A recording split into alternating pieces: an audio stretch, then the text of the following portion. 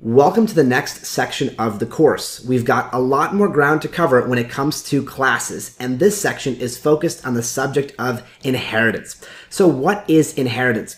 Inheritance is a design pattern in which a class inherits, or in other words, receives attributes and methods that are defined in one or more other classes. Why do we do this? Well, inheritance helps us to organize related classes and to reduce duplication in our code.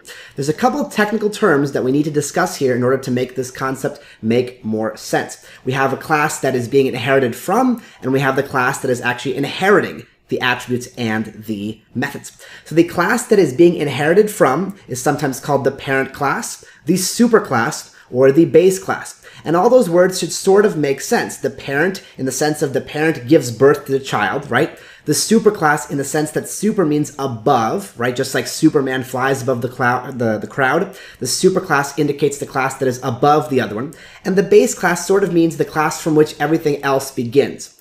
In contrast, the class that does the inheriting, that receives the attributes and methods from the superclass, is called the child, the subclass, or the derived class. It's called the child because it inherits attributes and methods from a parent, just like we do, just like we inherit our traits from our parents. The child class is the class that inherits something from a parent class. It's also called a subclass. The reason it's called a subclass is because the word sub means below. So just like super means above, sub means below. So this is a class that sits below and takes something from the parent, from the class that sits above it. And now a few notes on what is actually being inherited. So all public and protected attributes, and as a reminder, protected attributes are those that begin with a single underscore. All of those will be inherited by the subclass, as will be dunder methods. In comparison or in contrast, private name mangled attributes, those are the ones that begin with double underscores, will not be inherited by a subclass.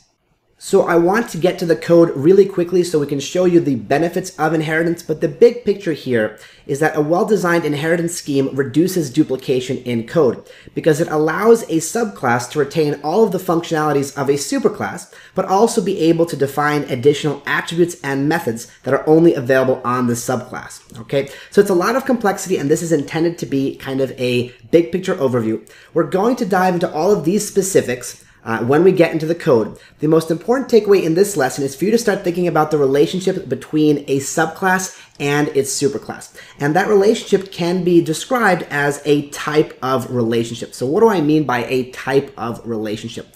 Well, that means that the subclass can be described as a type of the parent class. It is a more specific thing of the thing that it is inheriting from.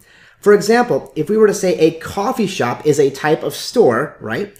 Uh, what that means is coffee shop could be described as a subclass of the superclass store, right? So store is going to be the more generalized one in this case. And in code, similarly, the superclass will serve as the more generalized class, while the subclass will serve as the more specific type. Another example here, a horse is a type of animal all horses are going to be animals, but not all animals are going to be horses, right? So a horse is a type of animal and it can be described as a subclass of an animal superclass.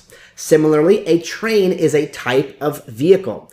Uh, every train is going to be a vehicle, but not every vehicle is going to be a train. You're, you're going to start to notice that kind of relationship when we start talking about subclasses because it's these exact real life ideas that we're going to try to represent in code, and inheritance offers us one way that we can accomplish that in our code base. There is actually debate about whether inheritance is the best design pattern. There are other uh, advocates who say it's not the best thing to do, but I do want to make sure you get exposed to as wide a variety of perspectives, and it is a key inherent part of Python, which is why I want to make sure we study it. As one final example, an electric guitar is a type of guitar, right? All electric guitars are guitars, but not every guitar is going to be an electric guitar. That just showcases one more example of that type of relationship. In this case, the electric guitar is the subclass, and the guitar would serve as the superclass or the uh, the base class that we are deriving from. So in all of these examples, the uh, subclass is a more specific type of the uh, the parent class, the superclass. And I want you to think about that relationship as we start modeling these classes in upcoming lessons in Visual Studio Code.